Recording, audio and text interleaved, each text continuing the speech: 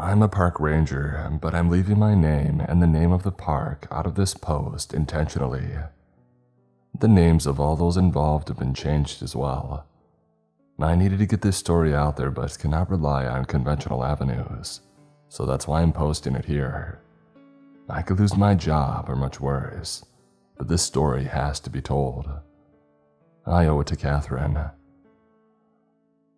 I arrived at the ranger station like any other day. I was given my section of the park to patrol. Unfortunately, the park is massive and my section usually includes about half of it so there isn't much chance for leisurely strolls on the trails. I hopped in my work vehicle, a 10 year old 4x4, and headed out to see if anybody needed assistance. It didn't take long to find someone. At the first campground, there was a man who couldn't get his camper started. A quick jump got him up and rolling. Next was a couple needing directions, then an overturned canoe. I had only made it a few miles through the park I was going to have to move if I hoped to make a full route today. I managed to grab a few quick bites of lunch and put some miles on without anyone needing help when the call came over the radio. There was a hiker that found something and I needed to go check it out. A half hour later, I was talking to a middle aged woman who had made a concerning discovery. She found a hat and a note on the trail. I read the note. I'm writing this note and leaving it behind because I'm not sure what's happening. The five of us friends have been planning this trip forever, ever since long before we had graduated. But it always seemed like something came up at the last minute, and one or more of us couldn't go. For a while, I was almost convinced that some outside force was working against us, that we were cursed to not go camping together until we were all too old to enjoy it. I could picture Devin now, he would still go even if he was so old that he had to use a walker on the trail. He's always up for camping. I think the guy carries a loaded backpack in his car with him everywhere that he goes. Adrienne got here right behind us, followed soon after by Dean. Of course, Terry was the last one to show. And we started up the trail in great spirits. Three miles and the sun was just starting to heat up. We were making good time towards the rustic campground when Devin decided to take a detour. He said that he had heard about an old trail that no one used anymore, and he wanted to check it out. I said that we should just keep going the way that we were, but I was outvoted. I honestly don't think Terry's vote should have counted, since he was obviously stoned and Devin just bullied him into saying yes. We came to a spot with a large stone off to the side of the trail. Devin said that it was the trailhead, but I didn't see any trail. He led us through some heavy brush, but on the other side it cleared out and we could see the faint impression of an overgrown trail. I went last and left my hat on the stone in case we got lost and needed to be rescued. I think that's exactly where we're heading, straight toward Lost. I'll leave this note under my hat and hope that somebody finds it. I asked the woman to show me where she had found it, and she showed me. Three miles later, I was staring at the rock that I hoped I would never see again. I radioed my location to the station and told them that if they didn't hear from me in a couple of hours, to send a search party to the old abandoned trail. I wish I would have brought my supplies with me, my backpack and my sidearm, but they were three miles away and I didn't know how long these kids had been on this trail. I knew that wasted time could mean the difference between uh, life and death. At least I had my knife, a flashlight, and binoculars. So I thanked the woman, placed the red hat back on the stone just in case, and headed into the heavy brush. Once through the initial overgrowth, the trail became visible. Old memories flashed through my head, ones that I never wanted to think of again. I took a deep breath and I headed down the trail. It was overgrown for the first mile or so, and then it opened up into a field. I could see people had walked through before me by the way the weeds were partially trampled. As I walked through, a deer jumped ahead of me, startling me. Until that moment, I didn't realize how jumpy I was. I tried to settle down and tell myself that these kids were just lost and that I could catch up to them and get them out. And telling myself that didn't make the memories go away. I entered a clearing with a fallen log and another note with a rock sitting on it. Okay, I think I'm being silly. This trail isn't so bad. Maybe I was wrong. Devin seems to know where he's going. I just can't shake this feeling that we're being watched. Sometimes I'll look around and I swear that I see a face disappear behind a tree. Am I being paranoid? Maybe if the birds would start singing again, that would lighten my mood. But I haven't heard a bird or any other animal for a while. I wonder why they're being so quiet. Are they afraid of us? On another note, Terry seems to be brooding more than usual. Maybe he forgot to bring enough of his stash to last the trap. Devin is in his glory since everybody has to rely on him for directions. Adrienne and Dean seem to be along for the ride. Although, I have noticed Dean looking around at the trees as well. Maybe I'll ask him if he sees anything. If you're trying to track us down, I hope we aren't being too much of a bother. I just have this feeling. I folded the note and stuck it in my pocket, and then prayed she was wrong about being followed. I pushed on, I'm beginning to miss my backpack with these supplies in it, especially the water bottles. The trees provided some shade so the sunlight wasn't shining directly on me, but hiking is always thirsty work. The birds chirping in the trees made me almost forget about the desperate mission that I was on to save these five kids. My mind wandered back to the kid that I couldn't save. It had been shortly after I had started as a park ranger. An 11 year old boy had gotten lost on this very trail his parents searched frantically for him before calling us to look. I remember hoping to be the one to find him, as we formed search parties and searched on, in and around every inch of the trail. In the end, I got my wish. I found him, but I wish I hadn't. I pushed the memory to the back of my mind and I focused on the trail. It was starting to fade. The trampling of feet wasn't making enough of a difference, and I was starting to lose my way. Out here, that can be deadly. I kept moving forward and finally regained the trail just in time to reach the fork. I looked back and forth from one choice to the other and couldn't see a difference between the two. I searched for any broken twigs or plants that would give me a hint, but there were none. Just when I was about to give up and flip a coin, I saw a piece of paper in the weeds, uh, barely visible. I dug it out and I read it. Uh, okay, it seems like we have a dilemma. A fork in the road, as it were. You would think that I would be happy to see the doubt in Devin's eyes as he looked from one choice to the other, uh, but you'd be wrong. It made my confidence plummet. It made me think that we were never getting out of here. Everyone's running out of water. Devin yelled at us for not conserving, but I saw him drink the last of his too. He ranted and raved at us for a while, but we all knew that he was just mad because he didn't know what to do. In the end, he flipped a coin. We all did our best not to laugh. Adrienne is reaching the end of her rope with Devin and his attitude. Dean has been playing peacemaker, trying to keep them from going at it too much. Terry has been way too quiet. I haven't seen him light up once. Something's up with him, but every time I ask, he says that it's nothing. The birds still aren't singing, and it's starting to really bother me. The strange feeling that I have hasn't gone away. I asked Dean if he had seen anything strange, but he won't talk about it. We've been on this trail for a while. I'm hoping to come to the end soon. By the way, in case the note got moved or blown around, we took the left trail. I was panicked by the end of reading that note and so relieved she mentioned which trail to take. I radioed in and reported that I was on the trail of the missing hikers. I mentioned the fork and taking the left side. I was told that there was no search party going on yet, and that I was the only one looking for these kids. It was the complete opposite of years ago looking for that kid. Everyone was searching. I know that we combed every inch of that wilderness, but that's the thing about the woods. You can search every nook and cranny, but something can still stay hidden. The sun was going down, and I still had no idea how close I was to catching up to these kids. I could stumble across them in the next clearing, or they could be hours ahead of me. I met with the woman who showed me the hat and the note in the afternoon. If they started out around daybreak, they could be a good five or six hours ahead of me. If the leader is so driven to continue, it's hard to say how far they might be. I continued following the trail until I came to a fallen tree across a river.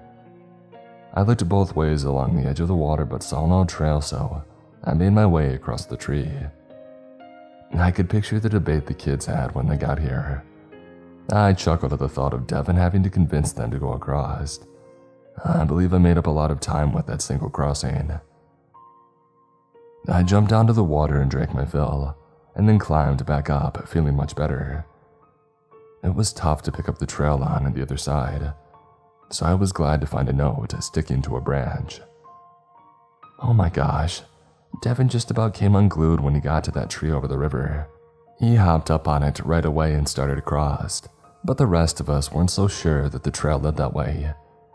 We asked him how the trail could be planned with a fallen tree as a part of it. He sputtered and stopped and told us how lost we'd be without him. Dean had finally had enough and told him that we were lost because of him. I seriously thought that Devin was going to take a swing at him, until Terry of all people came to his side and told Devin to shut up. The rest of us all came together and told Devin that he could keep leading us as long as he stopped acting like a petty tyrant. Well, he didn't take that well. In the end, he told us that we could all go to heck. He sat on the log and refused to move. Eventually, after we took a break and refilled our water bottles on the river, Dean said that we should get going and let us across the tree. Devin followed along, acting like a whipped puppy. Dean and I talked about the disappearing face that we had seen a while back, but neither of us had seen it again. At least the birds are back to singing, though. I chuckled, figuring that Devin would be a big baby over the whole thing. But after the chuckle came concern. Disposed leaders are usually dangerous. I wondered how much offense Devin had taken and if he would be looking to get some payback in some small or large way and darkness was coming on fast in the woods, so I had to make a decision camp for the night or keep going.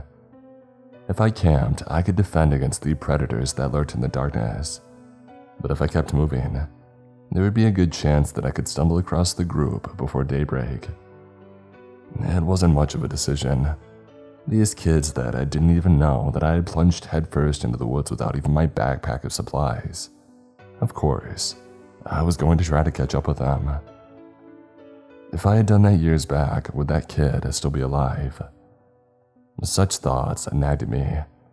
Most days I kept them at bay, but here in this same forest, close to these spots where I found him, I needed to focus. If I'm going to keep after them, then I need to get going. I stepped off the trail to go to the bathroom, and I heard a metallic snap at the same time. I felt an intense pain shoot up my leg. I looked down and yep, I had stepped into a bear trap. I screamed and fell to the ground and rocked back and forth in agony. After a few minutes, I focused on getting the trap off my leg.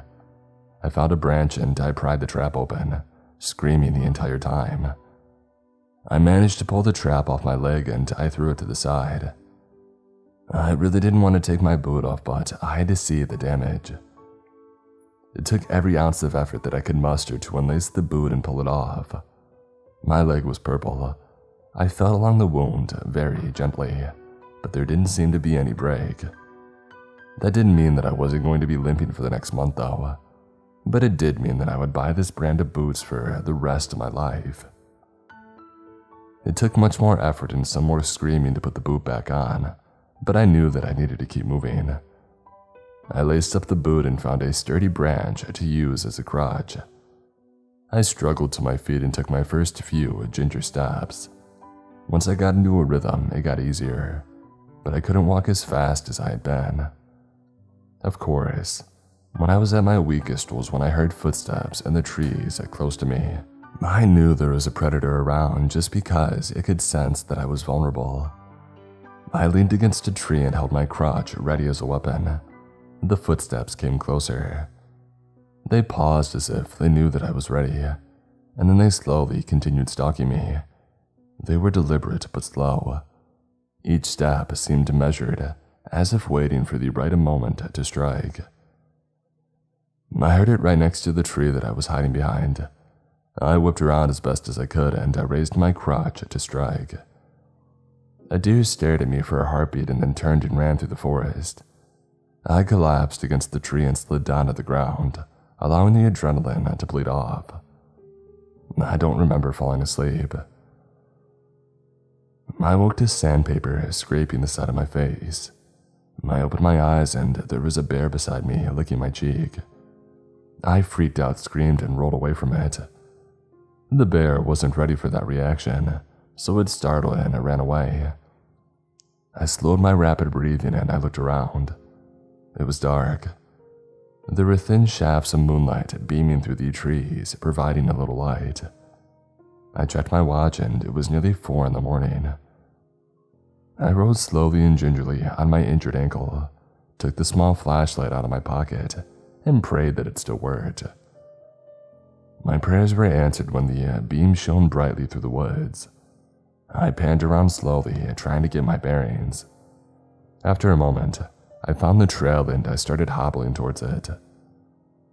The nightly noises were a comfort, at least if the crickets were chirping and the rest of the forest was singing its nightly tune. That meant predators weren't around. I stumbled and fell, hitting my injured ankle against a rock. The pain overwhelmed me and I screamed. After a few minutes of recovery, I got up and continued at a slower pace, paying more attention to the ground. I chided myself for falling asleep and losing so much time. At least the trail was easy to follow. I continued on through the night, hoping that I wasn't too late. I started thinking about the boy that I had failed to rescue and what would happen if I failed to rescue these kids. I'm sure the Rangers Department would say that I did my best. I wasn't worried about them, it was me. Would I be able to forgive myself for letting something happen again? My thoughts were interrupted when I stumbled into a clearing. Not just any clearing, they were the remnants of a fire. There were impressions from tent pegs being pulled out of the ground. All around were these signs of a very recent campsite, including a tent that was still set up. I got so excited that I nearly fell over my crotch looking around for signs of anything. The tent was a mixed blessing. It was very ominous that it was still here while the others were gone, but I was able to find some supplies to take along for my search. The most important was food. I shoved some protein bars in my pocket while devouring some beef jerky. I also grabbed two bottles of water from the pack. I stumbled across a note sitting under a rock beside the smoldering fire. Before I sat, I held my hand out to the fire. It was still warm, but the embers were nearly dead. It had been hours since it was first lit. If I hadn't taken my unintentional nap, I would have caught up with them. There was nothing that I could do but sit by the dying fire and read the note hoping that there was good news. Um, we found this clearing and decided to camp. Eh, everyone was tired from walking and the mood was somber because no one seemed to know where we were. All of us had been hiking in this forest before, but none of us had ever seen or heard of this trail. We set up our tents and started a fire, and then had some supper and sat around. No one really felt like talking, so I tried to get the ball rolling by asking Terry why he was late. He hesitated, but at my prompting, eventually, he told us that he had hit an animal with his car on the way here. I asked if it was a deer, and he said, no, it was way too big to be a deer. He said that it walked upright on two legs and that it was massive, like eight feet tall, covered in brown hair. He had swerved to miss it, but the strangest thing was, it seemed to try to jump in front of him anyway, like it wanted him to stop. We all listened with rapt attention. Just then, off in the distance, we heard a scream. We all froze. Devin started spouting off and yelling at Terry for trying to scare us, and then he stormed off. Dean tried to stop him, but he pushed him away and disappeared in the woods. The rest of us talked, trying to decide if we should go look for him, but in the end, we figured that we should just let him go and cool off. A short while later, we heard a rustling off in the distance and a muffled cry. We huddled a little closer together and went on high alert. Our eyes darted back and forth as we searched the impenetrable wall of trees surrounding us, looking for any sign of a predator. Right then, the strangest thing happened. All the nightly noises stopped. The crickets, the squirrels, the owls, every sound that you usually hear in the forest at night simply ceased. It was unnerving. For a moment, I wondered if I hadn't gone deaf. Our eyes darted all around us in the darkness. We huddled closer to the fire. Dean pulled out his hunting knife. None of us said a word. It was like if we spoke, something bad would happen. Somehow, whatever caused the noises to stop, it would find us if we spoke. Someone did speak, though, just not who we expected. Why are you here? came a raspy and deep voice that seemed to echo from everywhere. We looked all around and finally a man stepped into the light. He was large, well over six feet tall with broad shoulders, and older, maybe in his 50s or 60s. He was also wearing a park ranger's uniform. It looked old and shabby like he had been wearing it for a long time. There were no name tag or park patches either. At that point, we didn't care. We had been rescued. We clamored around him, saying how glad we were that he had found us. We told him about going on the trail and how we weren't sure where we even were. The man listened and then slowly said, mm, You shouldn't be here. We all looked at each other, and I'm sure the others thought the same as me. No crap, we shouldn't be here. We just told you that. He continued to look at us from one to the other as though sizing us up. I was starting to get a little uncomfortable with the silence. I would have thought that he would offer to guide us, but he didn't. He kept staring. I think everyone else was getting a little edgy as well when Dean asked if he could point us in the right direction. He looked at Dean as if deciding to answer him or not. I can guide you, he said, but first you should have some rest. We all agreed that the day had been long and stressful, and we decided to take his advice and turn in. We offered him some food and water, but he refused, saying that he wasn't hungry. We each went to our tents and we lay down. Before I settled in and finished this note, I popped my head back out of my tent to check on our guide. He was sitting by the fire, staring into the orange coals. I thought that I heard him mumbling or maybe humming something softly. I quietly zipped up my tent and went to sleep. Sometime later, somebody banged at my tent. I woke and unzipped it to find the ranger with a strange look in his eyes. We need to go. Why? I said, rubbing the sleep out of my eyes. It's not safe here, he said with an edge of panic in his voice. I popped back into my tent to change, and then came out and met with everyone. They were all in states of semi consciousness as well. Everyone but the ranger seemed to be confused. Pack it up, we need to leave, he said a little more forcefully. I was about to protest when I heard a piercing scream in the distance. His head shot up and he stared in the direction of the sound. Move it, he said. Pack up. We didn't need to be told again. The scream brought us all fully awake. We tore down our tents in record time and packed everything into our backpacks. As I was finishing up, I noticed Devin's tent was still up. Where's Devin? I said. Who's Devin? The ranger said. He's another one of our friends. He went off into the woods alone right before you got here. He didn't come back, the ranger said. Well, should we go look for him? The ranger extended his arms and did a slow circle. Which way would you go? He said. I understood his point. How would we know where he had gone? If he was still on the path or not? It just seemed like we should do something. What about his gear? I said. Do we take it with us? The ranger looked at me like he was annoyed at having to answer such questions. No, leave it here in case he comes back, he said. He'll need his supplies. I'm not sure if I'll keep leaving notes or not now that we have the ranger to guide us. Whoever finds this, Please look for Devin and make sure that he's okay. A ranger. All the rangers at this park are in their 30s or 40s. Maybe it was someone who retired and was just roaming around out there. But Why would he be in a ranger outfit? I'm sitting here by the dying embers of the fire with the tent set up in front of me. It was very tempting to take a rest. If they're in the hands of a capable ranger, I could get some rest before the long hike back out of here. But I knew that I had already taken my rest for the night.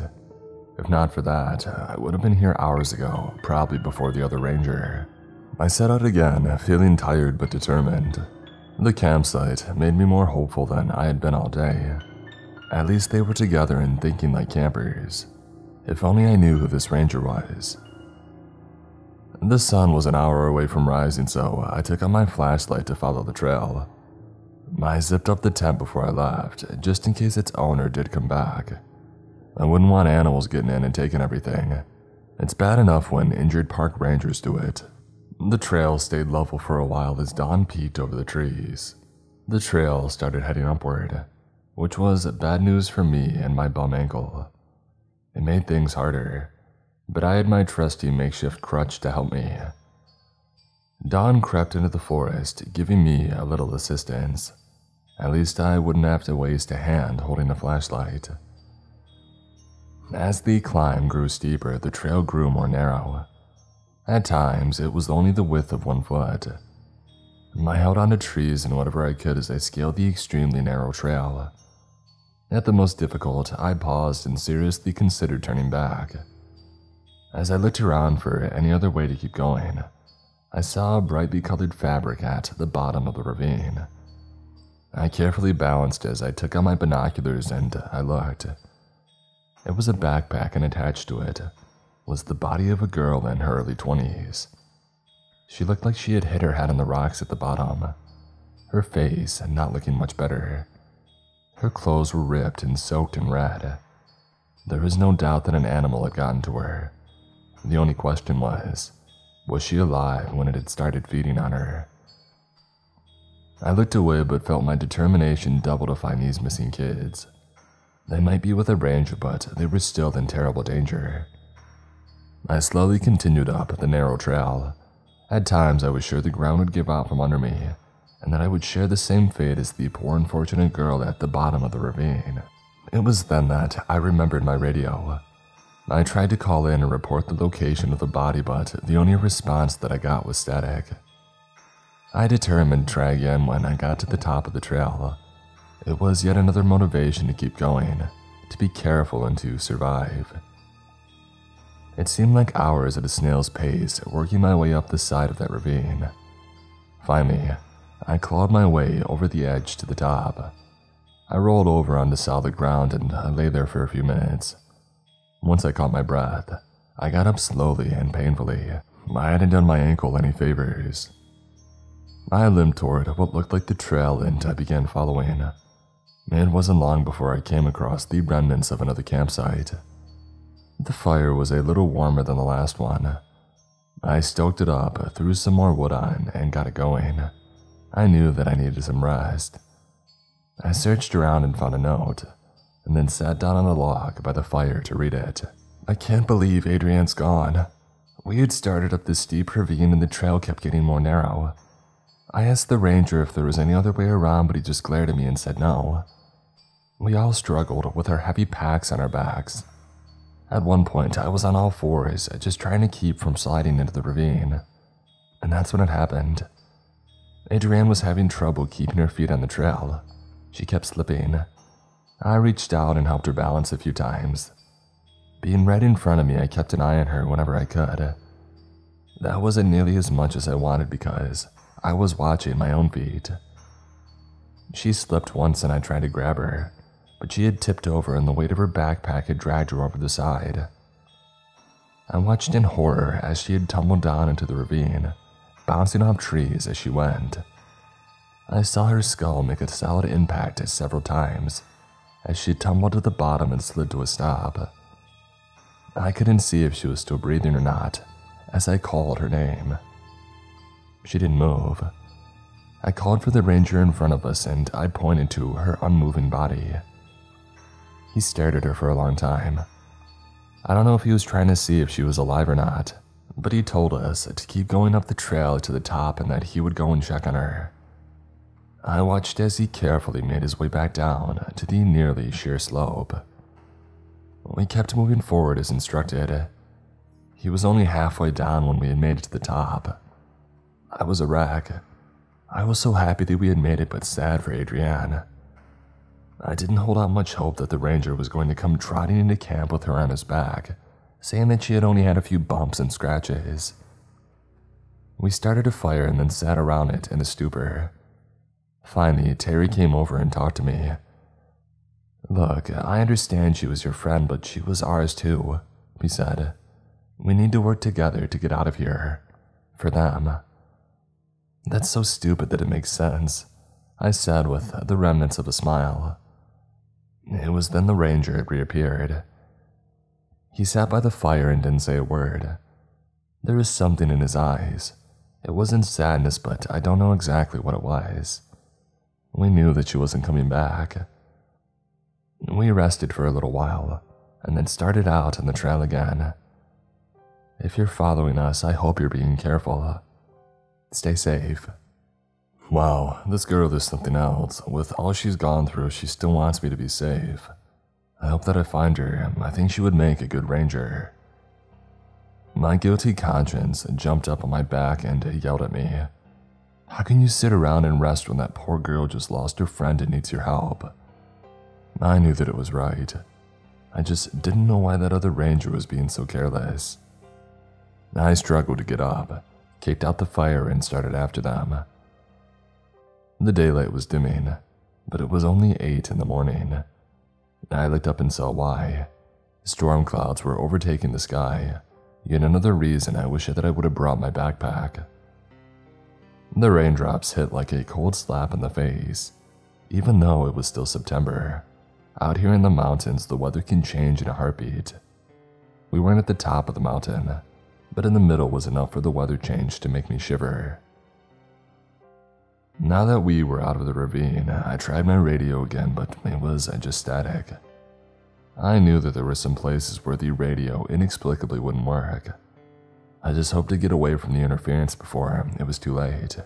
The trail was clear in front of me, but that was little comfort when walking in open fields with no rain cover. All those trees that I tromped through, and now in the rain, I have wide open spaces. I would say that someone doesn't like me. The rain just didn't pass like a spring shower. It poured so hard that it became difficult to see in front of me. For a long time, I trudged through the rain. At times, it felt like I was walking in place. The mud was starting to cake on my boots, and then my salvation appeared. In front of me on the trail was a tent. I called out before I unzipped the tent and I let myself in. I flopped down to the wonderful dry floor and then quickly turned and zipped the entrance back up. I breathed a sigh of relief, but as I did, a stench hit my nose. I looked over at the sleeping bag and it was full. Hey, I'm sorry to barge in like this, but I needed to get out of the rain, I said. No response. I nudged the person in the bag. It tipped to the side and rocked right back and that's when I noticed these splotches of red that had soaked through the bag. I didn't want to see, but I pulled the top of the sleeping bag away from the person's face. The bad part was how they no longer had a face. It had been ripped away and the neck had been gouged out. There were large wounds on the body as well.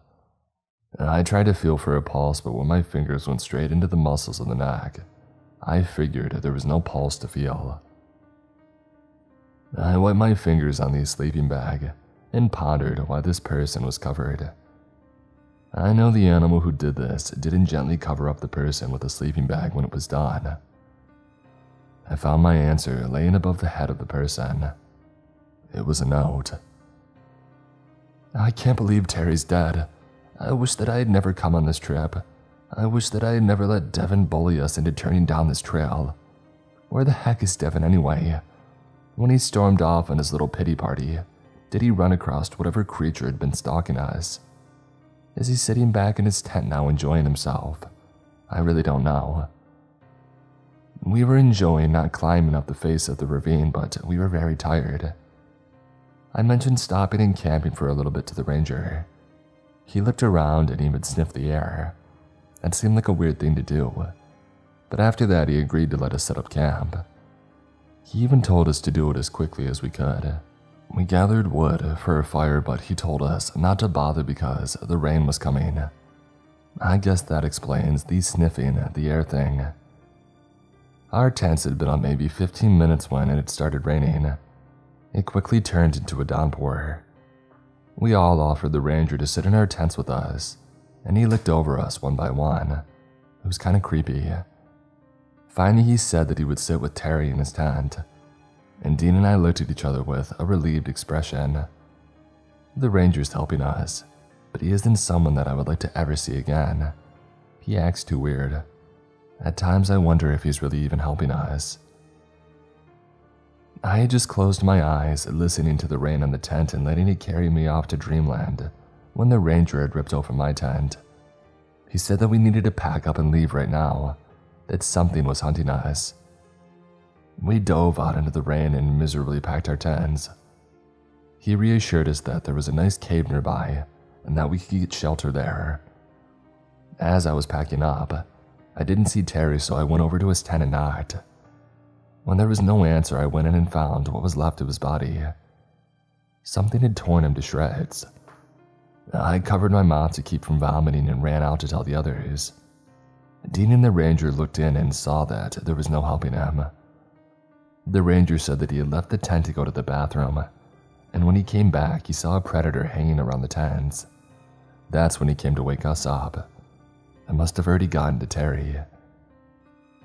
I pulled his sleeping bag over his head and wished that we had time to give him a proper burial. But the ranger said the animal might be back for the rest of us, so we quickly packed and left. I barely had time to finish the note. Please help us. A cave? What kind of ranger is he? Doesn't he realize that would be the most likely place a large predator would call home? I thought for a moment what cave he could be talking about. I hadn't been on this trail for five years, ever since I found the kid here. And then it hit me. We were very close to the place where we had found him. Why would he take them there unless? I jumped up so quickly that I nearly fell on top of the body when I forgot and put too much weight on my injured ankle. I hobbled out of the tent and went as quickly as I could toward the place that I swore I would never see again. I approached the cave and my heart sank. Two backpacks sat just inside the entrance. I pulled out my knife and flashlight, and then cautiously peeked inside. I felt a change in the breeze and turned to find the ranger staring at me. I looked him up and down. You, I said. The last time I saw you was when we found the boy. He said nothing. It was never a random animal attack, I said. It was you. He took a step toward me. Of course it was, he said. How wonderful was it to watch you years ago as you floundered around, looking for some predator that stood beside you. You.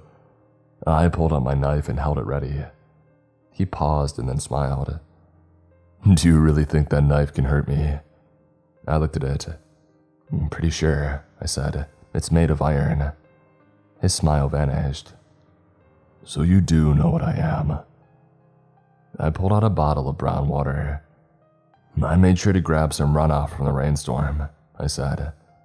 It might not do as good as rust water, but let's find out. I opened the bottle and I threw some water at him. He dodged it as though it was acid. At the same time, I swung with the knife. He dodged with ease. Why don't you turn into what you truly are? I said, taunting him. Oh, because we both know when I transform, I'm vulnerable for a moment he said, and I'm sure you would like to take advantage of that vulnerable moment. He swung and connected with my stomach, knocking the wind out of me. I recovered and swung the knife in a vicious downswing at him, which he easily dodged. I kept moving forward, stabbing and slashing at him, but I couldn't get close enough to connect. He was too fast. You can't defeat me, he said. Look at you, like an injured deer just waiting to be devoured. Be quiet, Yee Naaldlooshii, I yelled. At the mention of his name, he froze. I knew that I didn't have much time. I took advantage of the moment, lunging at him with my knife. If I had been uninjured, I would have closed the distance between us with two quick steps and buried the knife in his heart. But unfortunately, in the heat of the moment, I forgot about my injured ankle. I stepped forward on my good leg, and then faltered when I tried to put weight on the injured one. Instead of burying the knife in his heart, it went through his left thigh. He screamed in pain and ran out of the cave. I took out my flashlight and started toward the back of the cave. There I found a body next to a pile of bones. There was a note in her hand, and I sat down, took it, and read. I can't believe how stupid I was not to see this sooner. All the time, guiding us was just a play. He never wanted to help us. He never cared about any of us or our safety. I need to write this quickly before he comes back. The ranger led us here and told us to wait, that we would be safe in the cave. He left us alone.